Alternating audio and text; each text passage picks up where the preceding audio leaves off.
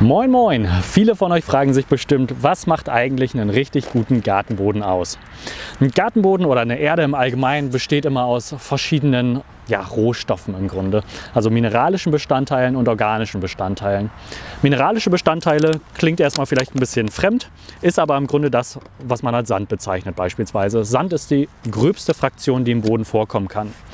Weiterhin gibt es die Tonfraktion. Ist wahrscheinlich auch den meisten bekannt. Ist ein sehr gut formbares, sehr, sehr kleines äh, Körnchen, das im Boden vorkommen kann.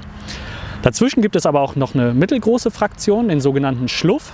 Häufig auch als Lehm bezeichnet, wobei Lehm im Grunde ja, die optimale Struktur darstellt, und zwar 30% Sand, 30% Schluff und 30% Ton. Jetzt fragt man sich natürlich, da fehlen ja noch 10%. Und ganz klar, was ich vergessen habe, ist natürlich der Humus.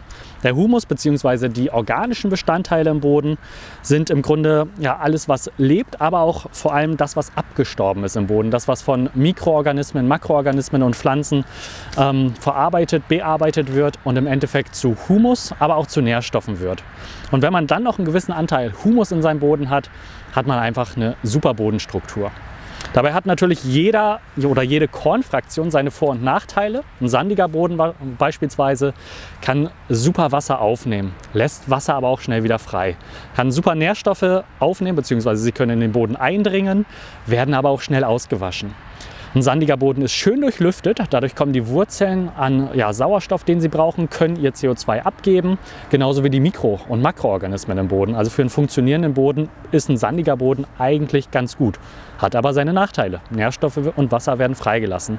Da kommt dann der Ton ins Spiel. Der Ton ist schön fein, bindet das Wasser, hält das Wasser fest und kann es wieder an die Pflanzen abgeben. Genau das gleiche gilt für die Nährstoffe. Wenn man also eine Mischung aus verschiedenen Kornfraktionen hat, dann hat man den perfekten Boden. Und wenn dein Boden vielleicht etwas schlechter ist, dann schau dir gerne diese Videos an, die wahrscheinlich hier irgendwo eingeblendet werden. Und äh, wir helfen dir gerne weiter und erzählen dir, wie man einen tonigen Boden verbessert, wie man einen sandigen Boden verbessert und was Humus eigentlich genau ist. Ich freue mich, euch in den nächsten Videos wiederzusehen. Bis dahin, macht's gut, bleibt sicher.